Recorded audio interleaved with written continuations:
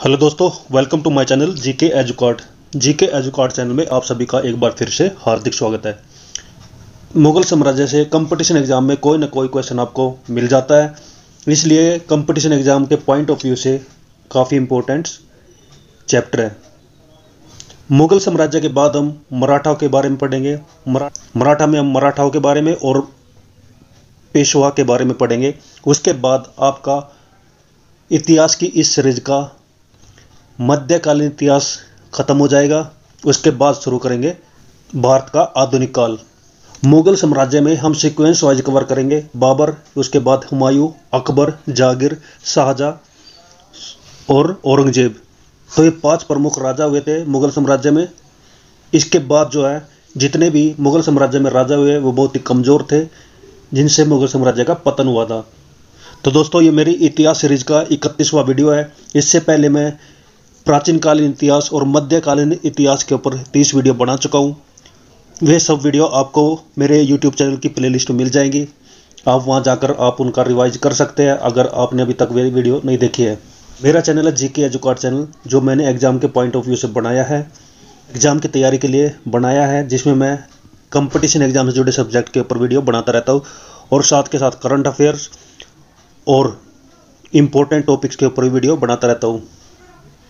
तो आपने मेरा चैनल अभी तक सब्सक्राइब नहीं किया तो इसको ज़रूर सब्सक्राइब करें। तो चलिए दोस्तों, शुरू करते हैं मुगल साम्राज्य।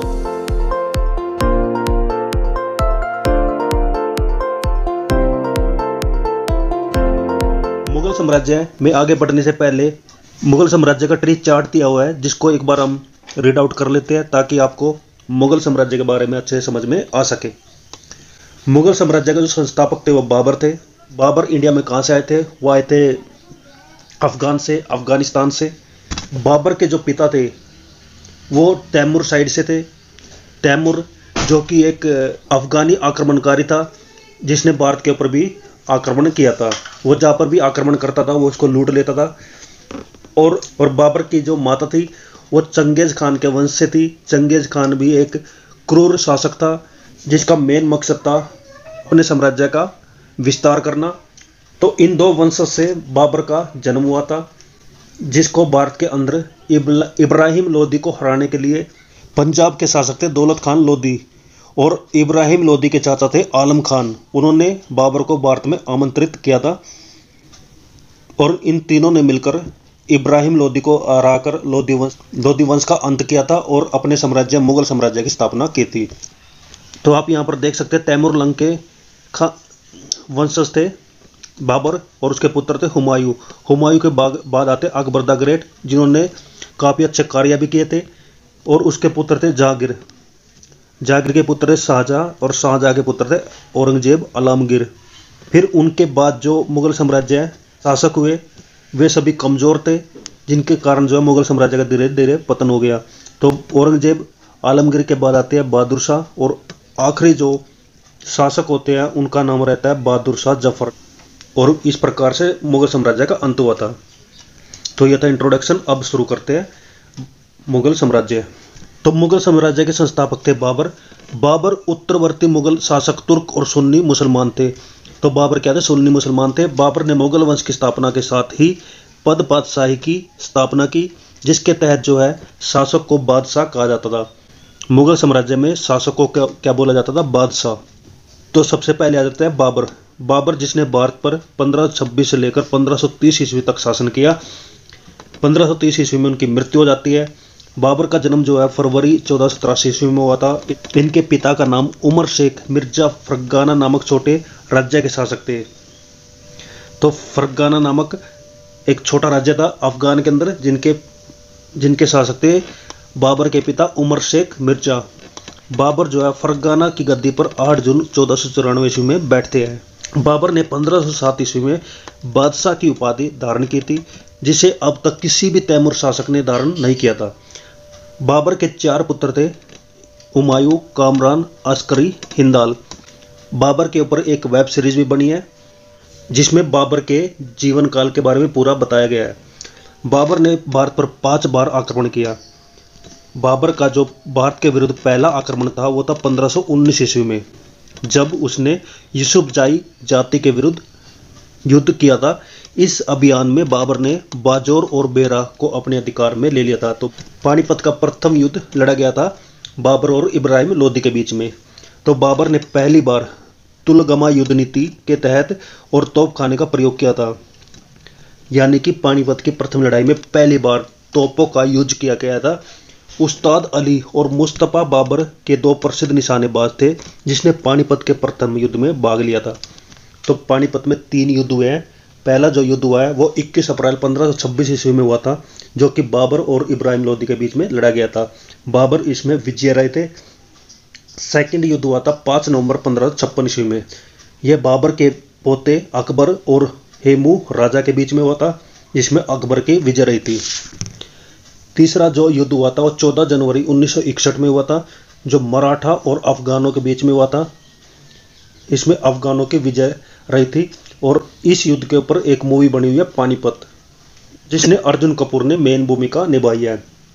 जब बाबर भारत के अंदर आए, उसने कौन कौन से प्रमुख युद्ध लड़े? उसने चार वर्षों के अंदर, अपने चार वर्षों के शासनकाल के अंदर चार युद्ध लड़े, जिसमें पहला जाता है पानीपत का प्रथम युद्ध 21 अप्रैल 1526 में। लड़ा गया था किस किस के बीच में? इब्राहिम लोधी और बाबर के बीच में, जिसमें बाबर विजय रहे थे। खानवा का युद्ध 17 मार्च पंद्रह ईस्वी में राणा सांगा और बाबर के बीच में लड़ा गया था, जिसमें बाबर विजय रहे थे। चंदेरी का युद्ध। चंदेरी कहाँ पर है? मध्य प्रदेश में है। उनतीस जून पंद्रह ईस्वी में मेदनी राय और बाबर के बीच में लड़ा गया था इसमें भी बाबर विजय रहे थे। गागरा का युद्ध। गागरा कहाँ पर है? बिहार में है।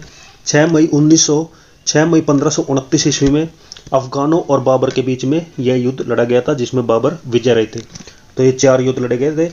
इन चारों युद्ध का सीक्वेंस याद रखना इंपॉर्टेंट है।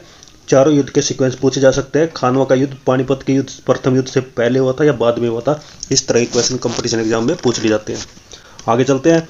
इब्राहिम लोदी मध्यकाल का प्रथम शासक था, जो युद्ध स्थल में मारा गया था। इसके साथ ही उसका मित्र ग्वालियर का जो राजा था, विक्रमजीत भी युद्ध स्थल में मारा गया था। हुमायूं ने कोहिनूर हीरा इंपॉर्टेंट है, कोहिनूर हीरा, ग्वालियर के दिवंगत राजा विक्रमजीत, जो कि इब्राहिम लोदी के साथ लड़े थे, उसके परिवार से प्राप्त किया था, छीन लिया था। बाबर को अपनी उदारता के लिए उन्हें कलंदर की उपाधि दी गई थी। इंपॉर्टेंट है, बाबर ने मुसलमानों को तमगा नामक कर से मुक्त कर दिया था। तो तमगा नामक कर लगाया गया था, जिससे बाबर ने मुसलमानों को मुक्त किया था। खानवा का युद्ध। खानवा का युद्ध जो हम पहले पढ़ चुके हैं, राणा सांगा के खिलाफ लड़ा गया था, जिसमें बाबर ने जिहाद का नारा दिया था और युद्ध में विजय के बाद गाजी की उपाधि धारण की थी। गाजी की उपाधि कब धारण की थी? खानवा युद्ध के बाद। ये भी आप याद रख सकते हैं। तीस जनवरी पंद्रह ईस्वी में जहर देने के कारण राणा सांगा की मृत्यु हो गई थी। राणा सांगा जो खानवा के युद्ध में बाबर के साथ लड़े थे। बाबर ने बंगाल के शासक नुसरत शाह के साथ 6 मई पंद्रह ईस्वी को एक दूसरे की संप्रभुता का सम्मान करने का वादा करते हुए एक संधि की थी, जिसके अनुसार जो है नुसरत शाह ने अफगान विद्रोहियों का शरण देने का वचन दिया। अफगान अफगान विद्रोही जो बाबर के खिलाफ हो चुके थे, क्योंकि बाबर ने दिल्ली में आकर शासन करना शुरू किया था, इसलिए वे इनके खिलाफ थे। तो उस समय पर नुसरत शाह थे बंगाल के शासक, जिसके साथ बाबर ने संधि की थी कि वो अफगान विद्रोहियों का साथ नहीं देंगे। तो करीब 48 वर्ष की आयु में 26 दिसंबर पंद्रह ईस्वी को आगरा के करीब जो है बा, बाबर की मृत्यु हो गई थी। तो बाबर की मृत्यु कब हुई थी? पंद्रह ईस्वी में। तो इसका छोटा सा जी छोटा सा शासन काल था भारत के अंदर पंद्रह से लेकर पंद्रह ईस्वी तक। प्रारंभ में बाबर के शव को आगरा के आराम बाग में आगरा के आराम बाग में दफनाया गया था। बाद में काबुल में उसके द्वारा चुने गए स्थान पर दफनाया गया था। तो बाबर के शव को दो जगह दफनाया गया था आगरा में और काबुल में। तो ये भी इंपॉर्टेंट हो जाता है। बाबर की बाबर की मातृभाषा थी तुर्की। क्या थी तुर्की? लेकिन वह अरबी और फारसी के भी ज्ञानी थे। तो तीन भाषाएँ बाबर को आती थी, तुर्की, अरबी और फारसी, ये मेन थी। बाबर ने अपनी आत्मकथा बाबरनामा में, आत्मकथा मतलब उसकी ऑटोबायोग्राफी थी, जो बाबर के द्वारा खुद लिखी गई थी, उसको उसने लिखा था तुर्की में। जिसके बाद इसका अनुवाद, इसका ट्रांसलेशन फारसी भाषा में किया गया था और फारसी भाषा में बाबरनामा का अनुवाद किसने किया था? अब्दुल रहीम खान खाना ने। तो अब्दुल रहीम खान खाना ने बाबरनामा को फारसी भाषा में अनुवाद किया था। अपनी आत्मकथा में, अपनी ऑटोबायोग्राफी में बाबर ने औपचारिक बागों की योजनाओं और उनको बनाने में अपनी रुचि का वर्णन किया था। अक्सर ये बाग दीवार से गिरे होते थे और कृत्रिम नहरों के द्वारा चार भागों में विभाजित आयताकार आते में स्थित चार समान हिस्सों में बटे होने के कारण ये चार बाग कहलाते थे। आगे देखते हैं चार बाग बनाने की परंपरा की शुरुआत अकबर के समय में हुई थी। तो चार बाग बनाने की परंपरा किसके समय, किसके समय पर हुई थी? अकबर के समय पर। बाबर को मुबैयान नामक पद शैली का भी जन्मदाता माना जाता है। बाबर प्रसिद्ध नक्शबंदी सूफी ख्वाजा अब्दुल्ला अरहार का अनुयायी था। बाबर प्रसिद्ध नक्शबंदी सूफी, प्रसिद्ध नक्शबंदी सूफी थे ख्वाजा उबैदुल्ला अहरा और बाबर के उत्तराधिकारी हुए थे हुमायूं जो बाबर के पुत्र थे। दोस्तों, अब शुरू करते हैं हुमायूं के बारे में। हुमायूं जिसने मुगल साम्राज्य पर 1530 से लेकर पंद्रह ईस्वी तक शासन किया था, लेकिन इसके बीच में शेरशाह सूरी भी आए थे, जिसने पंद्रह ईस्वी से लेकर पंद्रह ईस्वी तक शासन शासन किया था। तो हुमायूं, जिसका पूरा नाम था नसरुद्दीन हुमायूं। वो उनतीस दिसंबर 1530 ईस्वी को आगरा में 23 वर्ष की अवस्था में सिंहासन पर बैठते हैं। गद्दी पर बैठने से पहले हुमायूं बद खसा का सूबेदार था। अपने पिता के निर्देश के अनुसार हुमायूं ने अपने राज्य का बंटवारा अपने भाइयों में कर दिया था। यानी हुमायूं जो है, अपने भाइयों से प्यार करते थे, जिसके कारण उसने अपने राज्य का बंटवारा अपने भाइयों के बीच कर दिया था। तो हुमायूं ने अपने भाई कामरान को काबुल और कंधार दिया था, मिर्ज़ा अस्करी को संबल दिया था मिर्ज़ा हिंडाल को अलवर और मेवाड़ की जागीरें दी थी और उनके चचेरे भाई थे सुलेमान मिर्ज़ा, जिसको हुमायूं ने बद खसा प्रदेश को दिया था। पंद्रह ईस्वी में हुमायूं ने दीनपना नामक एक नए नगर की स्थापना की थी। चौसा का युद्ध, यह इंपॉर्टेंट आ जाता है। चौसा का युद्ध जो है पच्चीस जून पंद्रह ईस्वी में शेर खान और हुमायूं के बीच में लड़ा जाता है, जिसमें शेर खान की विजय होती है। शेर खान कौन थे? शेर खान थे शेर शाह सूरी जिनको बोला जाता है जो कि मगध साम्राज्य के शासक थे। इस युद्ध के बाद जो है, शेर खान ने शेर शाह की पदवी ग्रहण की थी। तो चौसा का युद्ध कब लड़ा गया था? पंद्रह ईस्वी में किस किस के बीच में? हुमायूं और शेर खान यानी शेर शाह सूरी के बीच में चौसा का युद्ध कहाँ पर लड़ा गया था? बक्सर में। बक्सर कहाँ पर है? बिहार में। बीलग्राम या कन्नौज का युद्ध फिर पंद्रह ईस्वी में शेर खान और हुमायूं के बीच में हुआ। इस युद्ध में भी हुमायूं पराजित हुए और शेर खान ने आसानी से आगरा और दिल्ली पर कब्जा कर लिया और इस प्रकार से पंद्रह सौ चालीस ईस्वी में हुमायूं दिल्ली को छोड़ देता है और वापस चला जाता है अफ़गानिस्तान। तो सेकंड आ जाता है कन्नौज का युद्ध। कन्नौज का युद्ध पंद्रह सौ चालीस ईस्वी में हुआ था। किस किस के बीच में हुआ था? शेर खान और हुमायूं के बीच में। कन्नौज यानी कि बिलग्राम, ये कहाँ पर है? उत्तर प्रदेश में। बिलग्राम युद्ध के बाद जो है हुमायूं सिंध चला जाता है, जहाँ उसने पंद्रह वर्षों तक गुमक्कड़ों जैसा निर्वासित निर्वासित जीवन व्यतीत किया। तो निर्वासन के समय हुमायूं ने हिंदाल के आध्यात्मिक गुरु फारसवासी सिया थे जिनका नाम था मीर बाबा दोस्त उर्फ़ मीर अली मीर अली अकबर जामी। उनकी पुत्री थी हमीदा बानू बेगम। कौन थी? हमीदा बा, बानू बेगम जिसके साथ हुमायूं ने 29 अगस्त पंद्रह ईस्वी को निकाह कर लिया था। कालांतर में हमीदा से अकबर जैसे महान सम्राट का जन्म हुआ था। तो अकबर की माता का क्या नाम था? हमीदा बानू बेगम। 1555 ईस्वी में हुमायूं ने पंजाब के सूरी शासक सिकंदर को पराजित करके पुनः दिल्ली की गद्दी पर बैठा। यानी 1540 ईस्वी में हुमायूं दिल्ली छोड़कर चला जाता है। 1555 ईस्वी में दिल्ली पर शासन करता सिकंदर, जो कि सूर्य वंश के शासक होते हैं, जिसको हुमायूं ने 1555 ईस्वी में हरा दिया था। और वो युद्ध, उस युद्ध का क्या नाम था? सरहिंद का युद्ध। तो हुमायूं के द्वारा चार प्रमुख युद्ध लड़े गए थे, जिनका क्रमानुसार सिक्वेंस यहाँ पर दिया गया है। पहला युद्ध था देवरा, जो पंद्रह में लड़ा गया था। सेकंड था चौसा, पंद्रह सौ ईस्वी में लड़ा गया था। थर्ड था बिलग्राम, पंद्रह सौ ईस्वी में लड़ा गया था। और चौथा था, फोर्थ था सरहिंद का युद्ध, जो कि पंद्रह सौ पचपन ईस्वी में लड़ा गया था। चौसा और बिलग्राम का युद्ध जो है, हुमायूं ने शेरशाह सूरी के साथ लड़ा था, जिसमें दोनों युद्ध में उनकी हार हुई थी। आगे देख लेते हैं। एक जनवरी पंद्रह छप्पन ईस्वी को दीन पना भवन में पुस्तकालय शेर मंडल की सीढ़ियों से गिरने के कारण हुमायूं की मृत्यु हो गई थी। हुमायूं के बारे में इतिहासकार थे लेनपुल, जिसने कहा था कि हुमायूं गिरते पड़ते इस जीवन से मुक्त हो गया।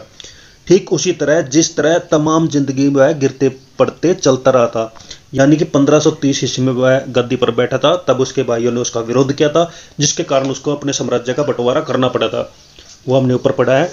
बाद जो है पंद्रह सौ चालीस ईस्वी में दो युद्ध में उनकी हार होती है, शेर शाह सूरी क्या तो फिर वो एक निर्वासित जीवन व्यतीत करते हैं। पंद्रह सौ पचपन ईस्वी में वो वापिस दिल्ली की गद्दी पर बैठते हैं। लेकिन एक साल के बाद ही किसी लाइब्रेरी में या पुस्तकालय में सीढ़ियों से गिरने के कारण उनकी अब आगे मृत्यु हो गई थी। तो इसलिए इतिहासकार लेनपुल ने हुमायूं गिरते पड़ते जीवन, हुमायूं का जीवन गिरते पड़ते बताया है। तो हुमायूं की बायोग्राफी लिखी गई थी, जिसका नाम था हुमायूं नामा जो किसने लिखी थी? गुलबदन बेगम ने। गुलबदन बेगम कौन थी? हुमायूं नामा हुमायूं की बहन थी। तो बाबर नामा ऑटोबायोग्राफी थी, जो खुद बाबर ने लिखी थी। हुमायूं नामा बायोग्राफी थी, जो हुमायूं की बहन गुलबदन बेगम ने लिखी थी। तो ये इंपॉर्टेंट हो जाता है। हुमायूं ज्योतिष में विश्वास करते थे, इसलिए इसने सप्ताह के सातों दिन सात रंग के कपड़े पहनने के लिए नियम बनाए हुए थे। नेक्स्ट आ जाता शेरशाह। तो शेरशाह सूरी, जिसने पंद्रह और चालीस ईस्वी में दो युद्ध, चौसा और बिलग्राम के युद्ध, हुमायूं के खिलाफ लड़े थे और दोनों युद्धों में उसने विजय हासिल की थी। तो उसके बारे में पढ़ लेते हैं। उसने 1540 से लेकर 45 ईस्वी तक दिल्ली की राजगद्दी पर शासन किया था। सुर साम्राज्य के संस्थापक थे अफगान वंशीय शेरशाह सूरी। तो सुर साम्राज्य की नींव किसने रखी थी? शेरशाह सूरी ने। डॉक्टर के आर कानून को के अनुसार जो है, हरियाणा प्रांत के नारनौल, जो कि महेंद्रगढ़ में है, उस स्थान पर इब्राहिम के पुत्र हसन के घर, इब्राहिम के पुत्र हसन के घर चौदह सौ ईस्वी में शेरशाह का जन्म हुआ था। तो हरियाणा राज्य के नारनौल प्रांत में शेरशाह सूर्य का जन्म हुआ था और कब हुआ था? चौदह सौ में। परमात्मा शरण का विचार है कि शेरशाह का जन्म चौदह सौ बहत्तर ईस्वी में हुआ था। तो ये अलग अलग इतिहासकार के अलग अलग तर्क है, जो शेरशाह सूर्य के जन्म के बारे में बताया है। इनके बचपन का नाम फरीद खान था। सूरवंश से ये संबंधित थे। इनके पिता हसन खान थे, जो जौनपुर राज्य के अंतर्गत सासाराम के जमींदार थे। फरीद ने एक शेर को, फरीद कौन थे? शेरशाह सूरी के बचपन का नाम था। तो फरीद खान ने एक शेर को तलवार के एक वार से मार दिया था। उसकी ईद इस बहादुरी से प्रसन्न होकर बिहार के अफगान शासक थे। उनका क्या नाम था? मोहम्मद मोहम्मद बहार खान लोहानी लोहानी। उसने शेरशाह सूरी को फरीद खान को शेर खां की उपाधि से नवाजा था। फिर बिलग्राम का युद्ध होता है, शेरशाह सूरी और हुमायूं के बीच, जिसमें शेरशाह की विजय होती है और वो दिल्ली की गद्दी पर बैठ जाता है। शेरशाह की मृत्यु कालिंजर के किले को जीतने के क्रम में 22 मई 1545 ईस्वी को हो गई थी। तो शेरशाह की मृत्यु कब हो गई थी? 1545 ईस्वी में। मृत्यु के समय वह ओक्का नाम का आगन्य शास्त्र चला रहे थे, जिसके कारण उनकी मृत्यु हो गई थी। तो उस समय कलिंजर के शासक थे किरत सिंह, जिससे युद्ध लड़ते हुए शेरशाह की मृत्यु हो गई थी। हिंदी और ईरानी वास्तुकला के समन्वय का प्रथम उदाहरण है शेरशाह का मकबरा, जिसमें हिंदी और ईरानी वास्तुकला का मिक्सर मिलता है, जिसको सासाराम में जेल के बीच ऊँचे टीले पर निर्मित किया गया था। तो शेरशाह का मकबरा कहाँ पर था? सासाराम में एक झील है, जिसके बीच में एक टिले के ऊपर, एक टीले के ऊपर इस मकबरे को बनाया गया था, जिसमें हिंदी और ईरानी वास्तुकला का मिश्रण मिलता है। तो ये इंपॉर्टेंट आपके लिए हो जाता है। आगे आ जाता है, रोहतासगढ़ किला और किला ए कोहना, जो कि दिल्ली में है। इन मस्जिदों का निर्माण जो है, शेरशाह सूर्य के द्वारा किए गए थे। तो रोहतासगढ़ का किला और एक मस्जिद थी, किला ए कोहना। जिनका निर्माण शेरशाह सूर्य के द्वारा करवाया गया था। शेरशाह का उत्तराधिकारी पर बनते उसके पुत्र, जिसका नाम था इस्लाम शाह। शेरशाह ने भूमि की माप के लिए 32 अंक वाला सिकंदरी गज एवं सन की डंडी का प्रयोग किया था। तो सिकंदरी गज या फिर सन की डंडी क्या थी? ये मेज़रमेंट यानी मापने के पैमाने थे, जो कि बत्तीस अंक वाले थे। इसने 178 ग्रेन चांदी का रुपया व 380 ग्रेन तांबे के किताब चलवाए। आगे देखते हैं। शेरशाह ने रोहतासगढ़ के दुर्ग और कन्नौज के स्थान पर शेरसुर नामक नगर बसाया था। तो इंपॉर्टेंट होता है शेरशाह ने रोहतास रोहतासगढ़ के दुर्ग का निर्माण कराया था। तो शेरशाह के समय जो पैदावार का लगभग एक बटा तीन भाग जो है, सरकार लगान के रूप में वसूल करती थी। कबूलियत एवं पटा प्रथा की शुरुआत शेरशाह सूरी ने की थी। शेरशाह ने पंद्रह सौ ईस्वी में पाटलिपुत्र को पटना के नाम से पुनः स्थापित किया था। तो शेरशाह के समय में उसकी राजधानी थी पाटलिपुत्र, जिसका नाम उसने क्या रखा था? पटना। इसने ग्रैंड ट्रंक रोड की मरम्मत कराई थी। ग्रैंड ट्रंक रोड, जिसको जीटी रोड कहा जाता है, उसकी मरम्मत कराई थी। एक प्रकार से उसका निर्माण कराया था। यह कहाँ से कहाँ तक था? कलकत्ता से लेकर पेशावर तक, जिसको पहले एन एच वन बोला जाता था। अभी इसका नाम बदल के क्या रखा हुआ है? N H forty four. डाक प्रथा का प्रचलन शेरशाह सूर्य के द्वारा ही कराया गया था। तो डाक प्रथा का प्रचलन किसने कराया था? शेरशाह सूर्य ने। तो ये आपके लिए इंपॉर्टेंट हो जाता है। मलिक मोहम्मद जायसी शेरशाह के समकालीन थे। तो क्वेश्चन पूछ लिया जाता है, मोहम्मद मुर्गी, मलिक मोहम्मद जायसी किसके समकालीन थे? किसके पैरल थे? तो वो शेरशाह के समकालीन थे। अकबर के समकालीन शासक यहाँ पर बताए गए हैं, जिसको हम नेक्स्ट वीडियो में कवर करेंगे। अकबर के बारे में, के बाद जो मुगल साम्राज्य के शासक बनते हैं, उनके बारे में। तो दोस्तों, आज की वीडियो यहीं पर ही खत्म करते हैं। ये वीडियो कैसी लगी? अच्छी लगी है तो ज़रूर इसको लाइक करें शेयर करें और मेरा चैनल जी के एजुकार्ड को सब्सक्राइब करें। तो थैंक यू दोस्तों बेस्ट ऑफ़ लक सभी को। थैंक यू जय हिंद, जय भारत, वंदे मातरम।